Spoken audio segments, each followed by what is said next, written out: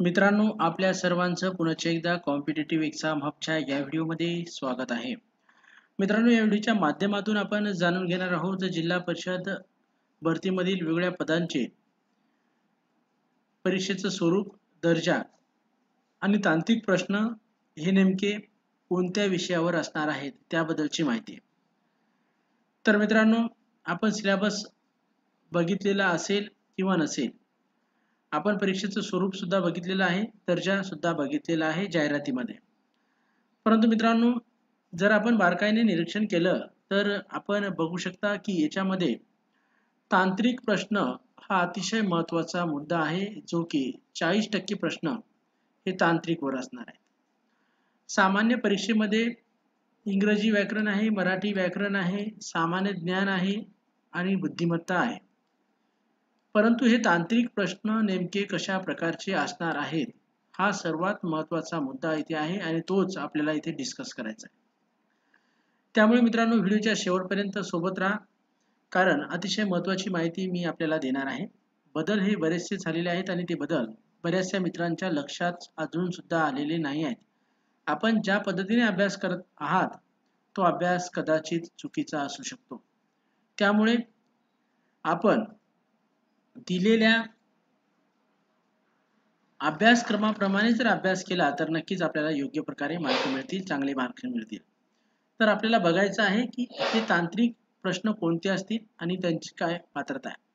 पदाचं नाव कनिष्ठ अभियंता स्थापत्य. पॅटर्न बघा. इंग्रजी पंधरा मराठी पंधरा प्रश्न सामान्य ज्ञानचे पंधरा आणि तर्कक्षमता अनुमानात्मक चाचणीचे पंधरा प्रश्न राहणार आहेत.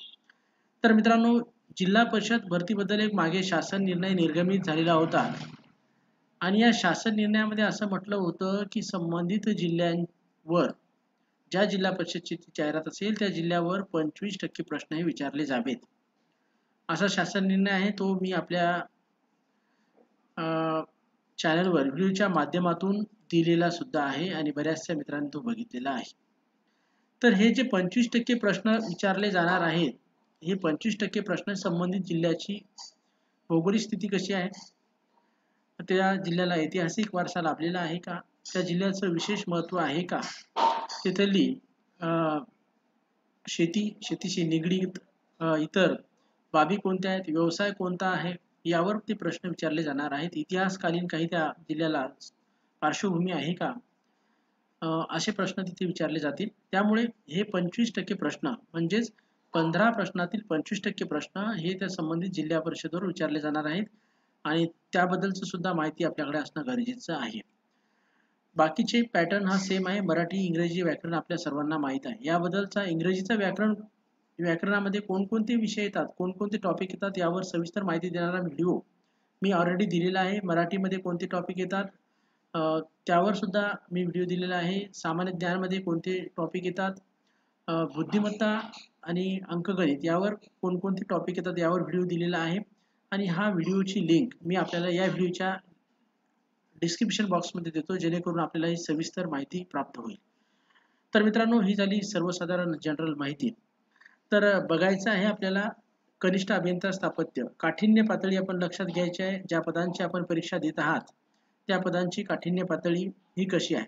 सर्वसाधारण इंग्रजी मराठी सामान्य ज्ञान आणि तर्कशास्त्र हे दहावीवरच आहे.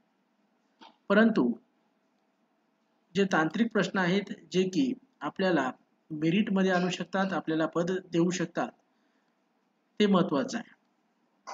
तर बघा याचा दर्जा आहे पदविका दर्जा.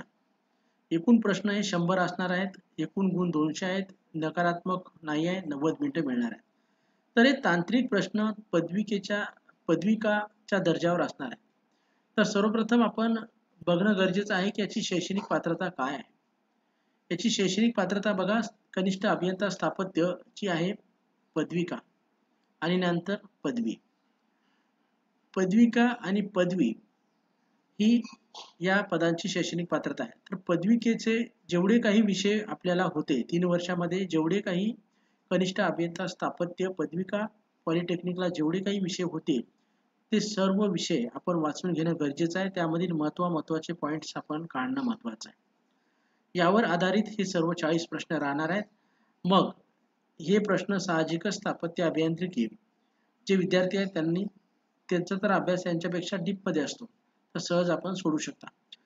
राहिला प्रश्न स्थापत्य अभियांत्रिकी यांच्यावाल्याचा सिव्हिल इंजिनिअरिंग तर आपण सुद्धा आपल्या पदवीला जेवढे विषय होते तेवढे विषय अभ्यासा खास करून आपल्या सिव्हिलचे जे विषय आहेत मेन मेन ते नक्कीच अभ्यासा जेणेकरून आपल्याला हे तांत्रिक प्रश्न कव्हर करणं केल्या जातील. तर तांत्रिक प्रश्न अशा प्रकारे आपण कव्हर करायचे कनिष्ठ अभियंताचे. यानंतर हे प्रश्न इंग्रजीमध्ये राहणार आहेत हे आपण लक्षात घ्यायचं आहे. त्यानंतर कनिष्ठ अभियंता का अभियंता यांत्रिकी. यांत्रिकी करता पॅटर्न सेम आहे सांगितल्याप्रमाणेच आहे. इथे चाळीस प्रश्न हे तांत्रिकचे. याचा दर्जा सुद्धा पदविकेचा आहे. तर इथे सुद्धा हीच गोष्ट आपण लक्षात घ्यायची आहे. कनिष्ठ अभियंताला आपण बघू शकता मित्रांनो शैक्षणिक पात्रता ही सुद्धा इथे सुद्धा पदविका आहे. तर कनिष्ठ अभियंता यांत्रिकी यांनी तांत्रिक प्रश्न कव्हर करण्याकरता आपल्या डिग्रीचे जे मेन सब्जेक्ट आहेत त्यातील महत्त्वाचे टॉपिक कव्हर करून घ्यायचे आहेत.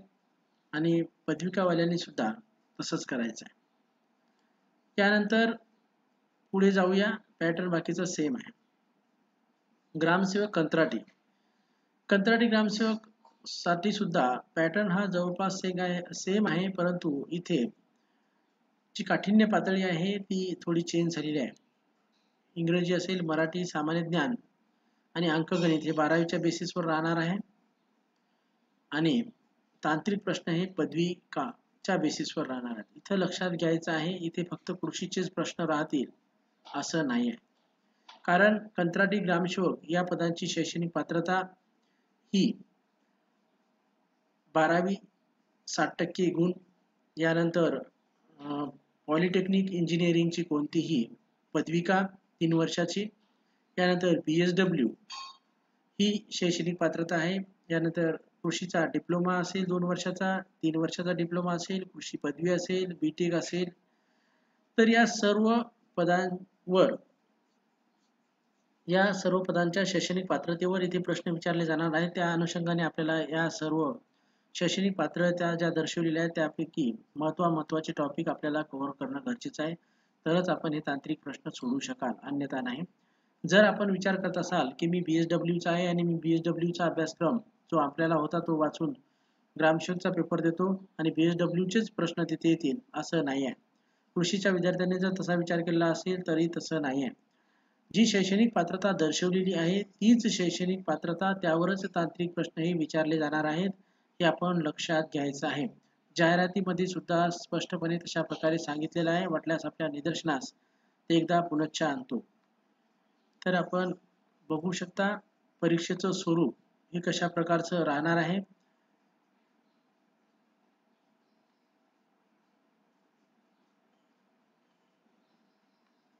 एका व्हिडिओच्या माध्यमातून मी ते सुद्धा सांगितलेलं होतं की परीक्षेचं स्वरूप हे नेमकं कशा प्रकारे?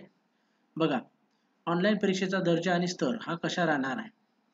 ऑनलाईन परीक्षेतील प्रश्नाचा स्तर हा त्या त्या पदाच्या सेवा प्रवेश नियमामध्ये विहित करण्यात आलेल्या किमान शैक्षणिक आरतीच्या दर्जापेक्षा निम्न असणार नाही.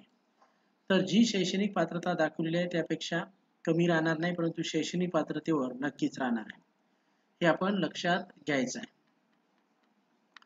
यानंतर आपण पुढच्या पदाकडे बोलूया त्याबद्दल सुद्धा तांत्रिक प्रश्न कशा प्रकारचे असणार आहेत याबद्दल सुद्धा माहिती जाणून घेऊया.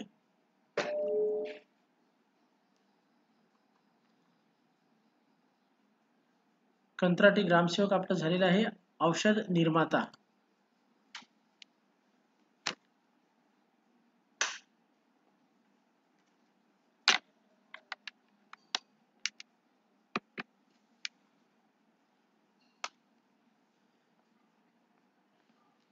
औषध निर्मातासाठी पॅटर्न हा जवळपास सेम आहे. काठिण्य पातळी इथे चेंज झालेली आहे. दहावीवर आहे.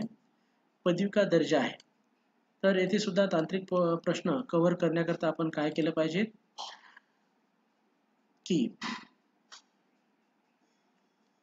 जो औषध निर्माण शास्त्रातील आपली जी पदविका आहे त्या पदविकेच्या विषय जे मुख्य विषय आहेत त्याचा अभ्यास करणं आणि जे पदवीचे विद्यार्थी आहेत त्यांनी पदवीच्या मुख्य विषयाचा अभ्यास करणं तांत्रिक प्रश्नाकरता अतिशय महत्वाचं आहे. यानंतर आरोग्य सेवक आरोग्य सेवक हे दहावीच्या बेसिसवर आहे. त्यामुळे त्यांची पात्रता आपल्या सर्वांना माहिती आहे की आरोग्य सेवक पुरुष असेल विज्ञान घेऊन माध्यमिक शाळांत परीक्षा उत्तीर्ण. तर त्यांच्याकरता येथे तांत्रिक प्रश्न जे दिलेले आहेत ते सर्वसाधारण असणार आहे. कमीत कमी त्याचा बेस हा दहावीचा राहणार आहे. आणि सर्वसाधारण जनरल प्रश्न जे की आरोग्याशी संबंधित आहेत मानवी शरीराशी संबंधित आहेत त्यावर हे प्रश्न तांत्रिक राहणार आहेत. त्यामुळे आपण सर्वसाधारणपणे जनरल नॉलेज जे आहे मानवी शरीराचं सामान्य ज्ञान ते आपण वाचन करून घ्यायचं आहे. त्यावर हे प्रश्न राहणार आहे आरोग्य पुरुष सेम पॅटर्न आहे कारण याची कमीत कमी शैक्षणिक पात्रता ही दहावी दाखवलेली आहे. त्यामुळे दर्जा हा दहावीचाच राहणार आहे. इयत्ता दहावी. बघा इथे तांत्रिक प्रश्नाचा दर्जा हा दहावी आहे. इथे सुद्धा तांत्रिक प्रश्नाचा दर्जा हा दहावी आहे. मग आपण विचार कराल की सर आम्ही दहावीचे प्रश्न दहावीचा सिलेबस अभ्यासायचा का? हो दहावी मधील जे विज्ञान होतं ते विज्ञान वाचायचं आहे. दहावीच्या खालचं विज्ञान. किंवा जर आपण अधिक अभ्यास करायचा आहे बारावीपर्यंतचे विज्ञान विषयाचे संपूर्ण आणि मानवी शरीर नंतर रिप्रोडक्टिव्ह प्रोसेस हे सर्व वाचून घ्यायचं आहे. आरोग्यसेवक महिला यांचा दर्जा सुद्धा दहावीचा आहे तांत्रिक प्रश्नाचा. हे लक्षात घ्यायचं आहे. यानंतर विस्ताराधिकारी कृषी याला शैक्षणिक पात्रता कृषी हे दिलेली आहे. आपण ॲग्रिकल्चरच्या जी आपली डिग्री झालेली आहे त्या पदवीचे सर्व बुक्स महत्त्वाचे विषय जे की कृषीशी संबंधित आहेत ते वाचन करणं गरजेचं आहे. काठिण्य पातळी ही पदवीवरची राहणार आहे. बाकीचा सिलेबस हा थोडा जर येथे पात्रता वाढली याचा अर्थ येथे सुद्धा काठिण्य पातळी थोडी वाढलेली आहे. पदवी पदवी पदवी आणि मराठी बारावीचा आहे. माध्यम बघा माध्यम सुद्धा इथे दाखवलेलं आहे. त्यानंतर स्थापत्य अभियांत्रिकी सहाय्यक. येथे सुद्धा काठिण्य पातळी बेस हे दहावीवरचा राहणार आहे. परंतु स्थापत्य अभियांत्रिकी सहाय्यक या पदांकरता वेगवेगळ्या प्रकारचा वेगवेगळ्या प्रकारची शैक्षणिक पात्रता ही दिलेली आहे. त्यामुळे ती शैक्षणिक पात्रता आपण त्या शैक्षणिक पात्रतेच्या समतुल्यमध्ये आणि त्या शैक्षणिक पात्रतेमध्ये जो काही अभ्यासक्रम होता तो सर्व अभ्यासक्रम आपण अभ्यासून घेणं अत्यंत गरजेचं आहे. स्थापत्य अभियांत्रिकी सहाय्यक त्यानंतर आर्किटेक्चर सुद्धा आहे कन्स्ट्रक्शन सुपरवायझरचा सुद्धा ते प्रश्न येतील. तर या सर्व बाबी आपण कव्हर करायच्या पशुधन पर्यवेक्षक इथे बघू शकता आपण चाळीस प्रश्न हे पदवी का दर्जाचे असणार आहेत? पशुसंवर्धन पर्यवेक्षक या पदांकरता सुद्धा अतिशय मोठ्या प्रमाणामध्ये वेगवेगळ्या प्रकारची शैक्षणिक पात्रता दिलेली आहे. पशुधन पर्यवेक्षक पशुपालक पशुधन सहाय्यक या सर्व बाबतीत येथे तांत्रिक प्रश्न विचारले जाणार आहेत. त्यामुळे सर्वांनी आपापल्या शैक्षणिक पात्रतेची त्याचबरोबर इतर जर शैक्षणिक पात्रता दाखवली असेल त्या शैक्षणिक पात्रतेबद्दलची महत्वाची माहिती अभ्यासून घेणं अतिशय गरजेचं आहे. चाळीस प्रश्न कव्हर करण्याकरता. वरिष्ठ सहाय्यक पदवीचा दर्जा राहणार आहे पात्रता पदवी आहे. त्यामुळे आपण दिलेली जी शैक्षणिक पात्रता आहे ती पात्रता अभ्यासणं गरजेचं आहे. खास करून लेखाशास्त्र लेखापरीक्षा आर्थिक बाबीच्या बद्दलची माहिती वाणिज्य शाखेतील आपला अभ्यासक्रम हे सर्व अभ्यासणं गरजेचं आहे तांत्रिक प्रश्नाकरता. अंगणवाडी पर्यवेक्षिका यांच्याकरता आपण बघूया यांना तांत्रिक प्रश्न लागू नाही आहेत त्यामुळे मराठी व्याकरण इंग्रजी व्याकरण त्यानंतर सामान्य ज्ञान आणि नंतर बुद्धिमत्ता आणि हे अंकगणित. यावर आपण अभ्यास करायचा आहे. तांत्रिक प्रश्न आपल्याला विचारले जाणार नाही आहेत. काही प्रश्न येऊ शकतात ते सामान्य ज्ञानमध्ये येतात आणि ते सामान्य ज्ञानमध्ये आपण प्रश्न कव्हर करणं गरजेचं आहे. येथे काही प्रश्न हे विचारले जाऊ शकतात. बालकाशी संबंधित आरोग्याशी संबंधित लसीकरणाशी संबंधित पोषणाशी संबंधित आहाराशी संबंधित. त्यामुळे इथे सुद्धा आपण त्याबद्दलची थोडी माहिती जाणून घेणं गरजेचं आहे. त्याचबरोबर योजना ह्या सुद्धा माहिती करून घेणं गरजेचं आहे. यानंतर विस्तार अधिकारी सांख्यिकी याला सुद्धा तांत्रिक प्रश्न लागू नाही आहे परंतु सांख्यिकी हा विषय असल्या कारणाने सामान्य ज्ञानामध्ये थोडेफार प्रश्न विषयाशी निगडीत विचारले जाऊ शकतात हे आपण लक्षात घ्यायचं आहे. बाकी पॅटर्न हा अशा प्रकारचा आहे. पंचवीस पंचवीस पंचवीसचा. कनिष्ठ लेखाधिकारी येथे तांत्रिक प्रश्न आहेत हे आपण लक्षात घ्यायचे पदवी दर्जाचे प्रश्न हे विचारले जाणार आहेत. मित्रांनो हा व्हिडिओ देण्याचा मागचा कारण असं आहे की बऱ्याचशा पदांकरता वेगवेगळ्या प्रकारची पदवी मागितलेली आहे. बऱ्याचशा मित्रांना तिथे संधी दिली गेलेली आहे. त्यामुळे जी जी पदवी इथे दाखवलेली आहे शैक्षणिक पात्रतेमध्ये त्या सर्व पदवीच्या संबंधित प्रश्न तिथे असणार आहेत. नॉट ओनली आपल्या फक्त एकट्या पदवीपुरते इथे प्रश्न राहणार नाहीत हे लक्षात घ्या. येथे सुद्धा सूचना आहे की ऑनलाईन परीक्षेच्या प्रश्नाचा स्तर हा त्या त्या पदाच्या सेवा प्रवेश नियमामध्ये विहित करण्यात आलेल्या किमान शैक्षणिक आर्थिकच्या दर्जापेक्षा निम्न असणार आहे. ज्या पदाकरता पदवी ही कमीत कमी अर्थ आहे अशा पदाकरता परीक्षेचा दर्जा भारतातील मान्यताप्राप्त विद्यापीठाच्या पदवी परीक्षेच्या दर्जाच्या समान राहील. तर ज्या पदाला पदवी आहे त्या परीक्षेचा दर्जा हा पदवी स्वरूपाचा असेल. परंतु त्यापैकी मराठी आणि इंग्रजी या विषयाच्या प्रश्नपत्रिकेचा दर्जा हा बारावी शालांत परीक्षेच्या दर्जाच्या समान राहणार आहे. तर मित्रांनो अशा प्रकारे ह्या बाबी आपण लक्षात घ्यायचं आहे. ऑनलाईन परीक्षेद्वारे निवडीची कार्यपद्धती ही तेरा जून दोन हजार अठरानुसार गट क पदे भरताना खालील कार्यपती अनुसार येणार आहे. तेरा जून दोन हजार अठराचा जो शासन निर्णय आहे त्याप्रमाणे संपूर्ण कारवाई होणार आहे. याबद्दलचा व्हिडिओ सुद्धा मी दिलेला आहे. पंचेचाळीस टक्के प्रश्न पंचेचाळीस टक्के गुण आपल्याला मिळवणं गरजेचं आहे तरच आपण पुढील प्रक्रियेसाठी पात्र आहात. कनिष्ठ अभियंता स्थापत्य विद्युत यांत्रिकी औषध निर्माता प्रयोगशाळा तंत्रज्ञ स्थापत्य अभियांत्रिक सहाय्यक या तांत्रिक संवर्गातील पदांच्या तांत्रिक भागाचे प्रश्न हे इंग्रजी माध्यमातून राहणार आहेत हे सुद्धा आपण लक्षात घ्यायचं आहे. निवड सूची आणि तिची कार्यपद्धती आपली जी लिस्ट राहणार आहे ती एक वर्षासाठी व्हॅलिड राहणार आहे वेटिंग लिस्ट समान गुण जर मिळाले असतील तर या शासन निर्णयाप्रमाणे कारवाई ही केली जाणार आहे. तेरा जून दोन हजार अठरा आणि दोन डिसेंबर दोन हजार सतरा या दोन शासन निर्णयाप्रमाणे कारवाई केली जाणार. त्यानंतर समान गुण जर असतील आणि ज्या गुन्हा प्राधान्य दिलं जाईल असं म्हटलेलं आहे तेथे ज्या विद्यार्थ्यांकडे त्या प्रकारचं जर प्रा कौशल्य असेल तर त्यांना सुद्धा तिथे प्राधान्य मिळेल. अशा प्रकारे हा परीक्षेचं स्वरूप आहे. अभ्यासक्रमाच्या बाबतीत सविस्तर माहिती देणारा व्हिडिओ मी आपल्या चॅनलवर दिलेला आहे तो नक्की बघा. त्या व्हिडिओची लिंक मी या व्हिडिओच्या डिस्क्रिप्शन बॉक्समध्ये देतो किंवा त्याला पोस्ट करतो. नक्कीच आपण तो सुद्धा बघा जेणेकरून आपल्याला संपूर्ण माहिती प्राप्त होईल. अभ्यास करत असताना आपण त्या जाहिरातीचा अभ्यास अगोदर करणं अतिशय गरजेचं आहे जेणेकरून आपण केलेला अभ्यास हा योग्य राहील. धन्यवाद.